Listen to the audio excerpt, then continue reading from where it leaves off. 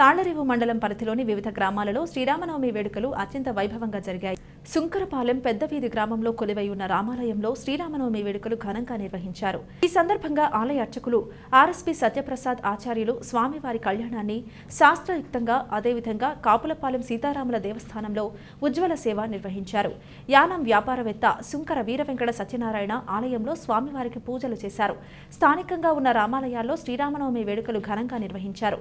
పరిసర ప్రాంతాలకు చెందిన భక్తులు అధిక సంఖ్యలో పాల్గొని స్వామివారిని దర్శించి తీర్థ ప్రసాదాలు స్వీకరించారు. ఈ సందర్భంగా భారీ అన్న సమారాధన కార్యక్రమాన్ని నిర్వహించారు.